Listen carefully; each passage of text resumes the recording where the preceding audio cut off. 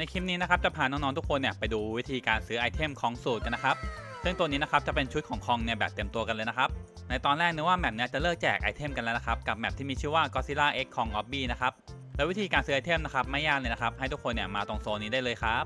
และราคาในการซื้อ Kong Suit นะครับจะอยู่ที่ 2,500 orb นะครับโดยที่ค่า orb นะครับเราจะใช้ซื้อ item จาก map นี้นั่นเองดูจากข้างบนได้เลยครับว่าเรามีทั้งหมดเท่าไหร่แล้ว และในการเก็บค่า orb นะครับให้เราเนี่ยไปทำการเล่น map obby จากตรงนี้นะครับใครที่เคยเล่นใน map นี้แล้วนะครับน่าจะคุ้นเคยกับการเล่น obby กันแล้วนะซึ่งตัว orb เนี่ยจะกระจายอยู่ตามพื้นแบบตรงนี้นะครับทุกคนให้ทุกคนเนี่ยวิ่งไปเก็บเรื่อยๆแบบนี้เลยนะครับเราอาจจะต้องเก็บหลายรอบหน่อยนะครับเพราะว่าในรอบหนึงเนี่ยจะเก็บได้ประมาณ 100 orb นะครับนี่ถ้าใครขยันขยันเนี่ยมาเตรียมตัวซื้อ Kong Suit กันได้เลยครับนี่เจ้าซูโก้เนี่ย